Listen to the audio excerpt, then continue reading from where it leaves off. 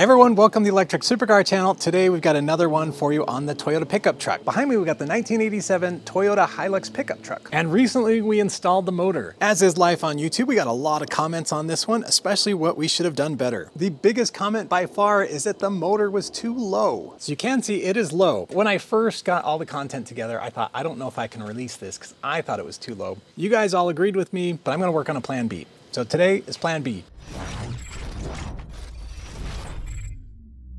So currently the lowest spot, we've got 11 inches of ground clearance. That actually is quite a bit for uh, most cars and trucks, but it is a little bit lower than stock. So this one is right at, I'm gonna say six and a quarter. That means this was six and a quarter inches lower than the mount on the frame. With this design, we're actually gonna be higher than the original stock.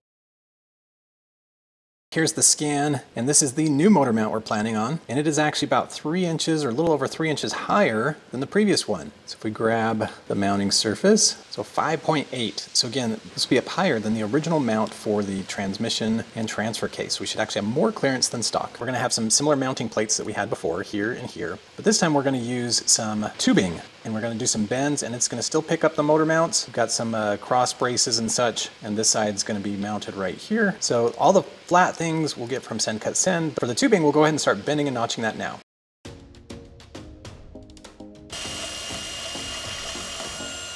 All right, we got three of those all cut. We're ready to go. Next, we need about 48 inches to create uh, those bend pieces, and so we'll need two of them.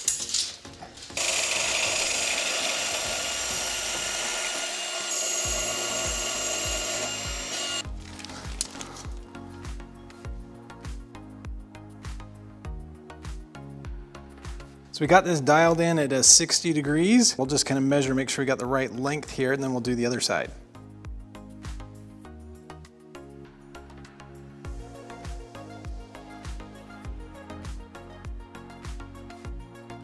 I have two of these made now. Um, there's a little bit of a learning curve here, but I think we got them close enough. So the angles are pretty much spot on. The lengths are close. I think they're gonna be close enough. So now what we're gonna do is we're gonna go ahead and notch the ends where they're gonna be mounted to other tubes.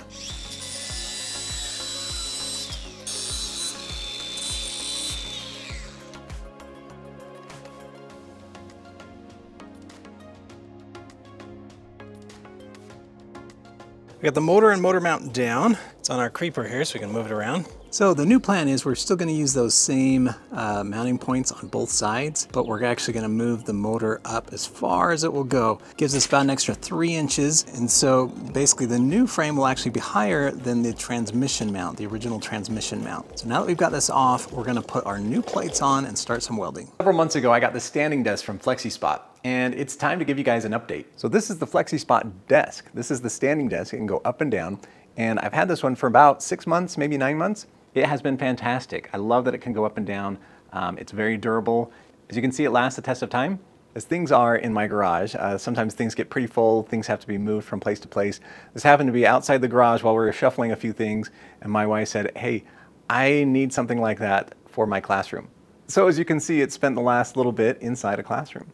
And if you think a garage environment is tough, wait till you see these guys. I don't know what you think of when you think of standing desks, but for me, holy cow, this blew away all my expectations. This is a seriously sturdy desk. It's got a static load capacity of 540 pounds. That means like you could put an engine on it. It is rock solid. I mean, you can like hit it pretty good and it doesn't budge. It's got some serious weight and some serious quality to it. So it's got an advanced function keypad where you can program both a standing height as well as a sitting height. So you can see it works for heights that are very tall. Again, this would be great for me. So it even has a USB plug-in so you can charge all your devices. So I think this would be great for both office environment as well as something to put in your garage. These are some serious quality products. So if you're interested in anything like this, go check them out. So as you can see, this is a great desk. It stands the test of time. And if you're interested in something like this, I'll leave a link in the video description below.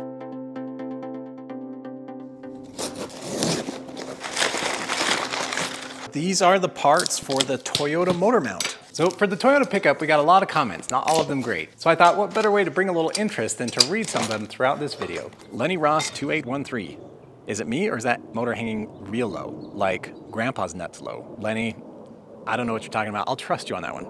Pure Energy 555. What a waste. Ruined a perfectly good engineered truck. Robert Roach 8339. That motor's gonna drag on the ground. Twat, did you say? 304. Should have put that under the hood to save some ground clearance. Basically made four-wheel drive worthless with how low the ground clearance is now. All right, got this one all welded up. We'll unclamp it. This one was gonna go in the car. This is obviously the one motor mount. We're gonna put on the tubes kind of there and there. And then those long bent tubes are gonna go from this side to the other side. All right, it's gonna put plates and things on, but I notice there's just a ton of rust. I'm pretty sure we can get a lot of that off. IH Dieselman. Drive lines don't have to be perfectly straight. Why did you choose to mount that motor so low? Basically ruined the breakover angle and off-road capabilities of that legendary truck. Very disappointing. John Galt, 517. Man, that motor seems to hang pretty low. At Yasin, 040190. Am I seeing it wrong? Or did you drastically reduce the ground clearance? Black Townie, 999. That motor is extremely low. That's never going off pavement other than smooth gravel road. No offense, but how can that truck drive over the thick nickel? I know how I know we aim for easy, but you gotta keep some functionality too, bro. Dirty T, that motor is sitting extremely low. Big Tony, 8978.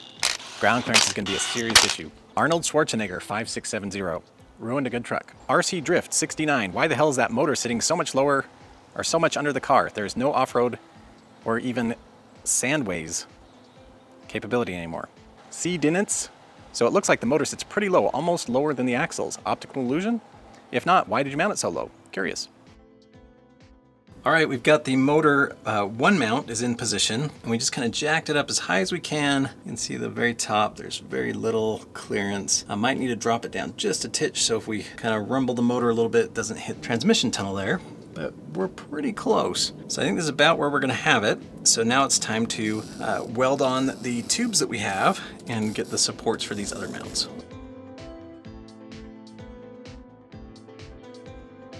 Okay, I've got the placement for our motor mount. I've marked where we need to do hole notch.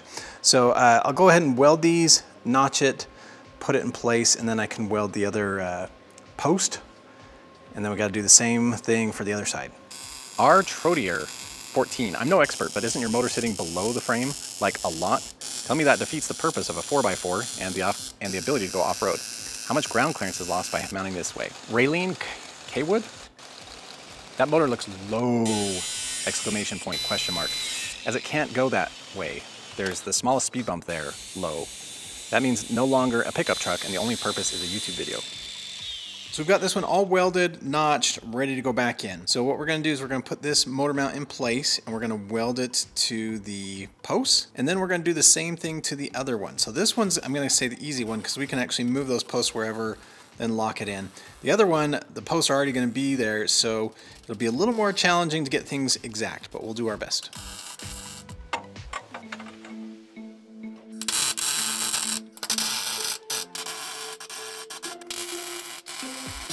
Right, this is the second bar. I got things tacked into place, so we're just gonna go ahead and do some welds on this one, get it ready to mount on the vehicle.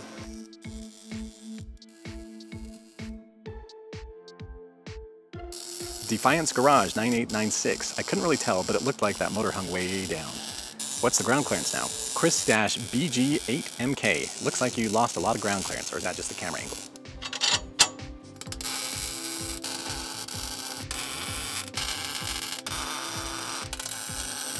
So what we're doing now is we're gonna take off all these bolts, take the motor mounts off, and then uh, put this on the welding table to do full welds for everything. Give it a coat of paint and put it back on.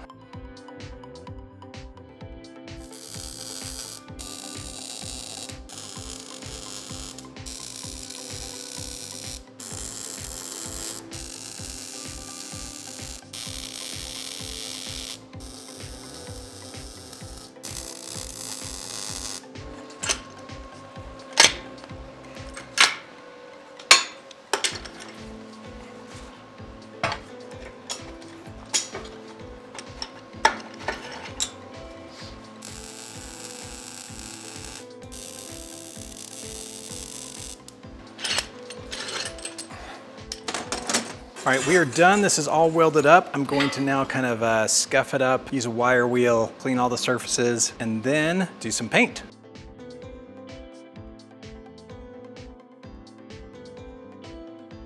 All right, got it all cleaned up.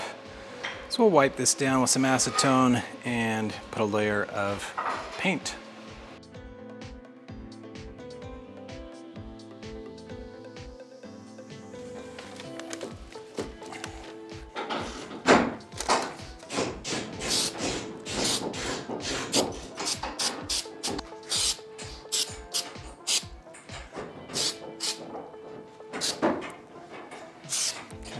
All right, the paint is all set up. I used the new uh, Steel-It and I like it. So this is supposedly weldable. So that way in the future, if I want to, I can weld something on this. So we're gonna go ahead and put this on the truck. Last thing we need to do, so I took the motor down because frame has to like go in and the motor's gotta go in. So took the motor down, now I've gotta put the frame in, then we'll get these jacks and things back in place and lift the motor up. So I don't think that was the way to do it. Um, for whatever reason, I was thinking the motor mounts were down, they're up. So I gotta put the motor on first and then we'll put it back in. Let's see, probably be easier if this was upside down, but I'll just take this one off.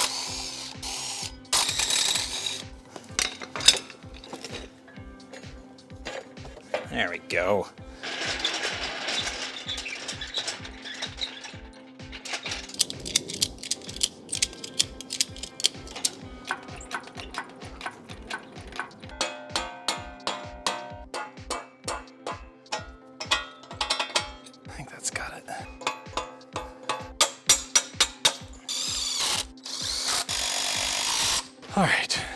You're on. So we got the motor mounted to the motor mount. We're now just going to roll this in place. I'm actually thinking about maybe trying to use the engine hoist as well. Um, I just don't like putting jacks under it. And anyways, it seems to wobble. So uh, there is a hole where the shifter used to be. So I'm gonna see if I can sneak this one in and uh, lift it up. So we got this in. I was able to hoist it right through there. However, the center of mass is like too far over. So basically when I lift it up, it's not in place. I need to kind of bring it back this way. So I still need to use uh, jacks and things under there. I'll probably leave this attached. So like if for whatever reason it kind of comes off the jack, it won't go all the way to the concrete. But uh, yeah, we'll keep going and uh, shift things into place and bolt it to the truck.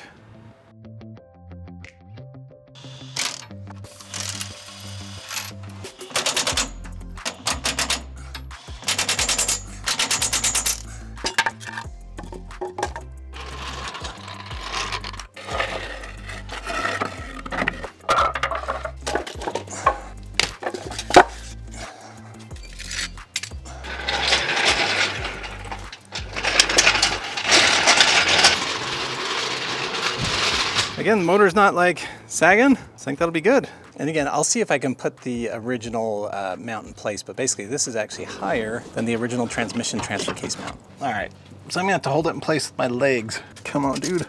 So I'm getting 14 and a half. And then, oh dear, and right by my face, we're like right at 15. Whew. So just a little bit higher than the original one. Let's see if I can get some better shots. So new mount, higher than the original. So I know even when I do this, people are gonna say, you still did it wrong, or this could have been triangulated, or this or that. By all means, put them in the comments. I like to read the comments. One thing I do always do, when we do these things, um, we will always uh, test them out, try them out. If something looks like it's not strong enough, if something's wiggling, wobbling, we always have the option to make it better. So I'm under here, and I know somebody's gonna say like, hey, this should be triangulated or something. Um, it's pretty robust. Um, there might be some places to do some triangulation, but I figured I'd kind of think I'm moving the whole truck. When we do the uh, skid plate, we'll probably find a couple more places to uh, triangulate and make things even more robust.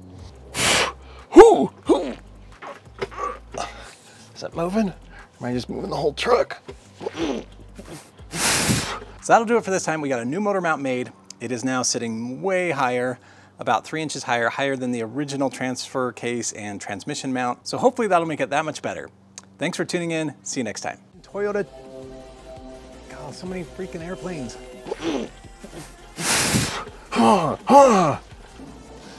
it's airplane season. Is that moving? Am I just moving the whole truck?